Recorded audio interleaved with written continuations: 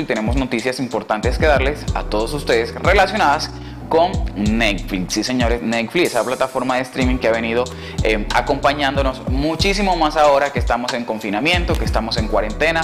Una opción entre las múltiples que tenemos para entretenernos y tiene que ver con una película que ha enamorado a millones de personas alrededor del mundo. Yo les estoy hablando de El Stand de los Besos.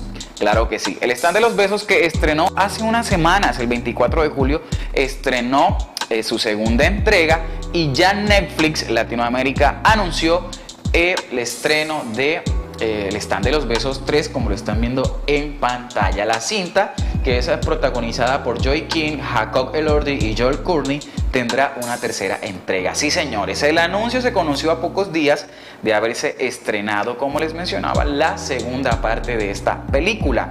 La buena noticia la reveló Netflix a través de las redes sociales, a través de Instagram, a través de Facebook, también a través de Twitter. Así que los amantes de esta película podrán resolver sus dudas sobre la elección de la universidad que tendrá que hacer él es uno de los personajes además.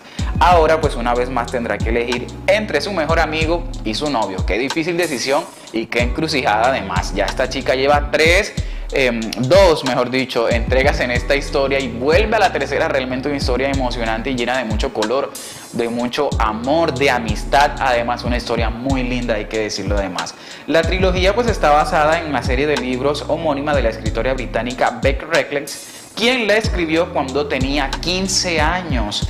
La cinta será estrenada en el año 2021 es lo que se espera de esta espectacular cinta, como les decía, llena de mucho color rosa, de mucho color azul, de mucha amistad.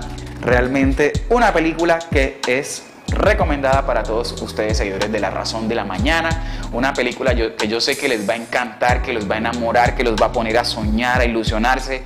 Una película de esas que realmente roba suspiros y nos pone a soñar. El stand de los besos 3 el próximo año 2021 se viene cargadísima de muchísima más emoción, de muchísimo más sentimiento.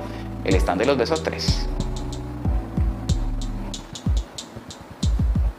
Bueno, para los que no se la han visto, ya saben que ahí está y está pendiente para que se la vean.